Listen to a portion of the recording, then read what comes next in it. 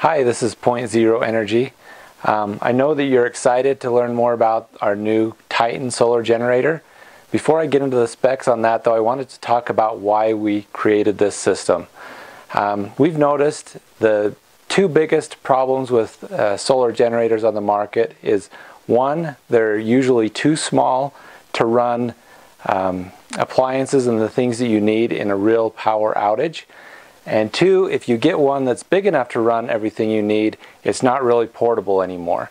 And so with the Titan solar generator, we've developed a generator that is big enough to run um, anything you need. You can expand it to run you know, your entire house, or you can leave it small like this and it's still portable. You can take it wherever you need.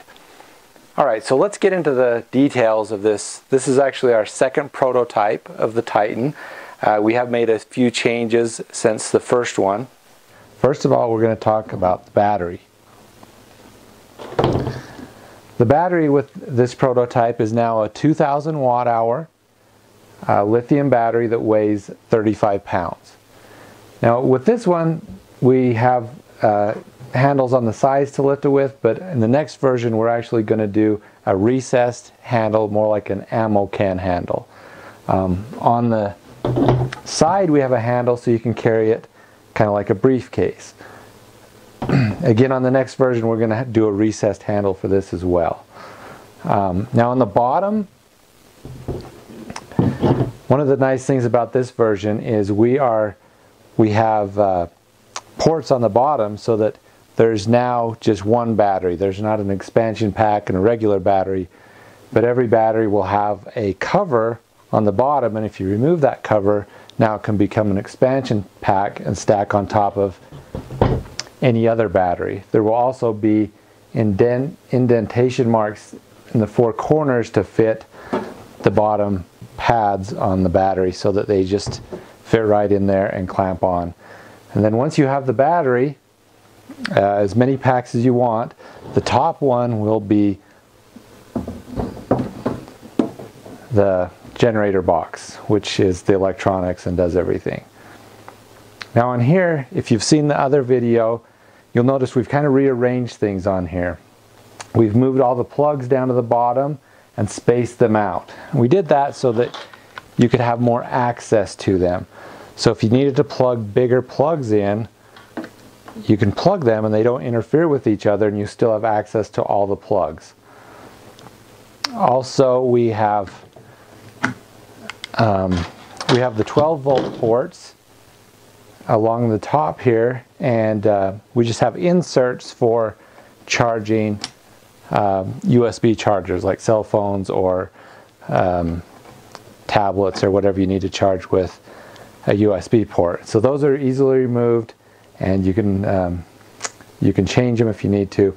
We've got these two with two regular ports on each one on this side we have a regular port and a USB-C port on each one of those to charge the newer phones. Um, now these, these two ports here is what they are is they're a 24 volt port that can be used to run lights or, or whatever else you want to run off 24 volts. It's also directly connected to the battery so if you happen to drain the battery pack low enough to where the battery management system shuts it off, you can charge it up by plugging this in and then connecting your solar panels and it'll get your battery going again. And then of course there's also the RV plug, the 30 amp RV plug there on the side. Um, all spaced out and designed to where you can plug everything in and not cover anything else up. Now if we look at the, the other side, this is where all the input ports are. So the first one here is for 110 volt, where you'll just plug into that and then you can plug into any 110 volt outlet. This is programmed to charge at 750 watts. If you add more batteries, you can program it to go up to 1500 watts of charging so you can quickly charge your batteries with AC um, in about two and a half hours. Now, for solar, it comes with a 25 foot extension wire that will plug into these solar ports and then on the end of these, they have the uh, MC4 connectors that plug into your solar panels. Uh, this is programmed to have a maximum of a thousand watts. Now if you add a second or third battery, this can go up to 2,000 watts. So uh, if you've ever looked at any solar generators, you'll know that that's actually very high. Most are about 300 watts.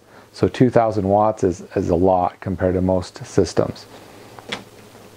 Um, now this next spot here, this is just the breakers and the fuses. Essentially if you overload the ports, it'll trip these uh, breakers and if you overload um, the light plug or whatever, it'll trip these fuses. And also this port, which is used to charge from a car. So essentially all you got to do is plug in a 12 volt port and then plug that into your car and you'll charge it about 150 watts. Um, and then the last port over here, this is for adding an expansion battery. Uh, basically you can add any type of battery, AGM, flooded lead acid, um, it has to be 24 volts, so you need two of them, two 12 volt batteries in series. Plug into there, and then you just program this for that type of battery, and it will now work with the lithium battery to run your generator. All right, now for the other side, there's not much over here right now, um, but underneath this cover is where you access the ports to add to parallel another system. So say you wanted more power, you could buy a whole complete system, set it next to here, connect the two wires, and now it would actually synchronize the two systems and you could uh, run twice as much watts out of this. So you could, or you could program it to be 240 volt split phase and wire into your home. Um, there's also underneath this cover, there's a switch that you can flip off and it'll basically turn the entire inverter off. So if you're just running DC, you can save your batteries a little bit by doing that. Most people will never worry about accessing that, but it is an option there for people that want to save on their power. So by doing this, by having it uh, the option of paralleling two systems or more, it can go up to nine whole systems. And by adding more and more batteries, you can you can actually make a system that can run, uh, you know, just about as much as you want. And so with this system, you can have it run your whole house, but then if you need to take it, say, go camping or whatever, you don't have to take the entire system. Just disconnect one of these with one battery. You can take it and go very easily.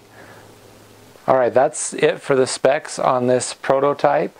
Um, be sure to sign up for our newsletter and we'll update you with when our pre-sale is going to start and more details of the final product. Thanks for watching.